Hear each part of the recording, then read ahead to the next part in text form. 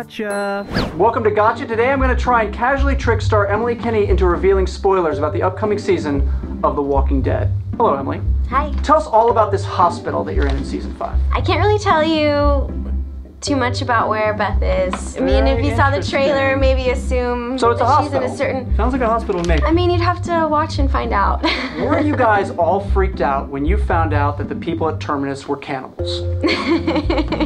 Okay, so I'm they're not really cannibals. sure Great. we Okay. I'm gonna go with cannibals on that one. What episode is it again where Beth and Daryl kiss passionately for the first time? Is that episode four or five? um, I can't tell you anything about this. Ah, It's season. personal.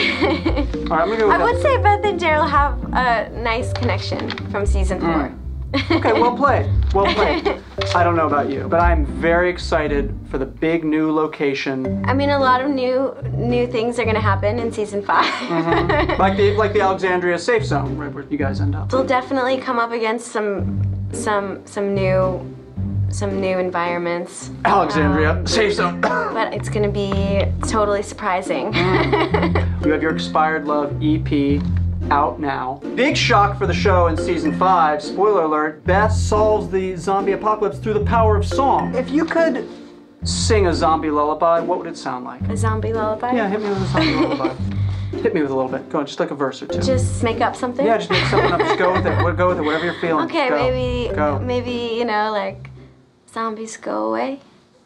Uh, it would be I don't know. That was amazing. Thank you. Tell me one thing you actually can tell us about season five of The Walking Dead. I can tell you there will be zombies. Okay. There will be a lot of violence, a lot of questions answered from season four, and a lot of new questions that come up.